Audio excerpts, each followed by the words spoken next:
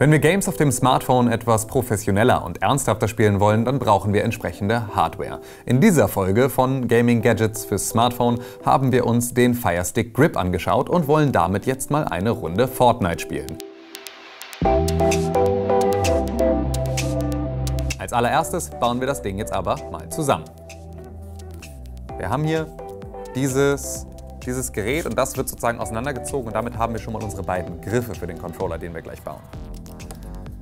So, das Ganze klappen wir jetzt hier aus. Und das machen wir auf der anderen Seite auch. Und damit haben wir jetzt hier eine Verbindung, die wir herstellen können, darüber, dass wir das ineinander schieben. Und jetzt können wir hier gleich das Smartphone einklemmen. Was wir aber auch noch brauchen, was so ein guter Controller nämlich hat, sind Schultertasten. Und diese Schultertasten haben wir hier als einzelne Objekte und können die oben auf das Smartphone drauf montieren. Dafür stecken wir das Ganze hier an die Position, an der wir das haben wollen und ziehen dann hinten einmal den Hebel fest, mit dem hier ein bisschen Spannung aufgebaut wird und dann der Knopf hier nicht mehr verrutschen kann. Genau das gleiche machen wir auf der anderen Seite. Auch da kommt als allererstes das an die Position, an der wir es haben wollen. Dann ziehen wir das hier hinten fest und schon haben wir hier hinten Schultertasten, die wir bedienen können. Als nächstes müssen wir dann nur noch das Smartphone hier in die Halterung reinsetzen das ein bisschen auf Spannung bringen, damit es hier auch wirklich fest drin sitzt. Und fertig ist unser Smartphone-Controller.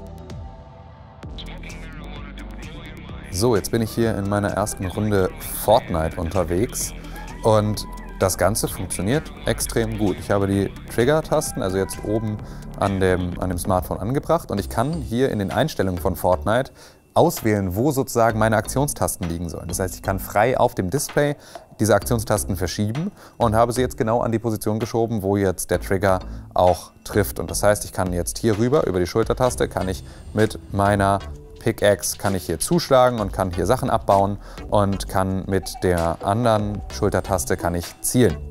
Ein kleiner Nachteil bei der ganzen Geschichte ist, dass sich halt auch diese Schultertasten ab und zu mal ein kleines bisschen verschieben. Das heißt, man muss da auch ein bisschen drauf achten, dass man gerade dann, wenn das hier äh, spannend wird in diesem Spiel, dass man dann unter Umständen ähm, ja, mal mit dem Trigger auch ein Stück weit verrutscht. Das kann passieren, darauf muss man achten, aber ansonsten ist das Ganze hier eine relativ gut funktionierende Angelegenheit. Eine Sache, die hier extrem gut funktioniert, ist der Grip innerhalb des Griffes. Das heißt also, die, die Griffe, die ich hier an den Seiten habe, die sitzen sehr, sehr fest und auch das Smartphone sitzt sehr, sehr fest darin. Ich kann das ganz, ganz frei bewegen. Nur die Beweglichkeit der Trigger ist halt eine Sache, die äh, mal zu einer, zu einer Sache führen kann, die ich mir so vielleicht nicht gewünscht habe. Also dass sich hier bestimmte Punkte verschieben. Ich steuere hier immer noch mit den Fingern auf dem Display. Das heißt, die Sticks, um mich zu bewegen und mich umzuschauen, sind immer noch auf dem Display, sind also digitale Sticks.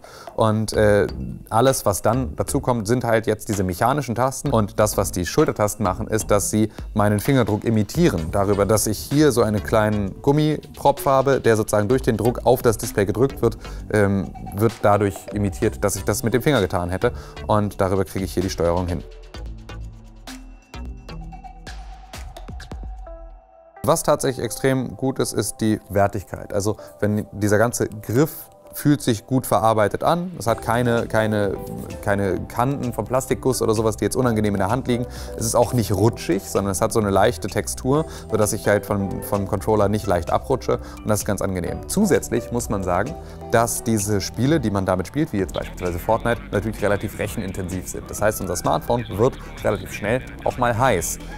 Dadurch, dass ich hier aber die Griffe an den Seiten des Telefons habe, komme ich gar nicht wirklich damit in Berührung und damit kann auch das Smartphone ein bisschen heiß laufen, ohne dass es irgendwann anstrengend wird, das Ganze weiterhin in der Hand zu halten. Alles in allem bin ich mit dem Fire Stick Grip ziemlich zufrieden. Das Ganze fühlt sich wertig an. Ich kann damit viel besser Fortnite spielen, als ich es äh, so direkt auf dem Display hätte machen können. Und dadurch, dass ich halt die Möglichkeit habe, in bestimmten Spielen auch die Eingabefelder zu verschieben, kann ich mir das Ganze so customizen, wie ich das brauche, um eine erfolgreiche Runde zu spielen. Und was soll ich sagen? Ich habe die erste Runde ja auch direkt mit meinem Team gemeinsam gewonnen. Also scheint das ganze ja ein Erfolgsgarant zu sein für alle, die Fortnite oder andere Spiele auf dem Smartphone spielen wollen.